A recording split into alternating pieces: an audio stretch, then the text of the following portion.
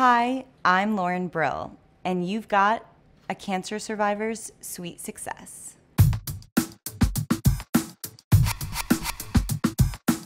Right after I graduated college, I was diagnosed with a type of cancer. I had Hodgkin's lymphoma. And it was a really crazy time to be diagnosed just because right after I was graduating, I was 22, and I was just trying to figure out what I wanted to do with my life. And basically, during that time, I just took off the year to follow my passions, which was study nutrition to keep my body as healthy as possible and take cooking classes because I just always had a passion for cooking and baking.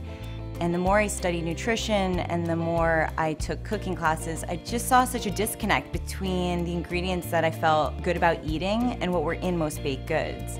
So I started to make my own and just fell in love with the process of baking too. I think it was very therapeutic and really creative, and it was just a great outlet to experiment with new flavors and interesting ingredients.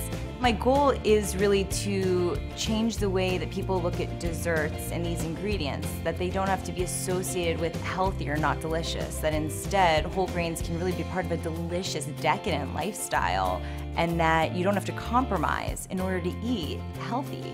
It should be balanced and it should be whole ingredients and it should be unbelievably delicious.